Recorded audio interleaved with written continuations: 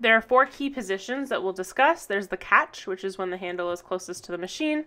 There's the drive, which is your actual pulling motion. There's the finishing position. And then there's a recovery when you're bringing the handle back in. You'll notice that I'm using mainly my legs. Rowing should be felt mostly in the legs. You shouldn't be fatiguing your arms first. Um, this is because we start the drive with our legs and then we open our hips a little bit. You'll see that my torso angle changes slightly after my leg drive. And then we finish the pull with our upper body and our arms. We want to make sure that we're following this motion so that we don't have to move the handle around our legs, that it's an easy and smooth pull back and forth.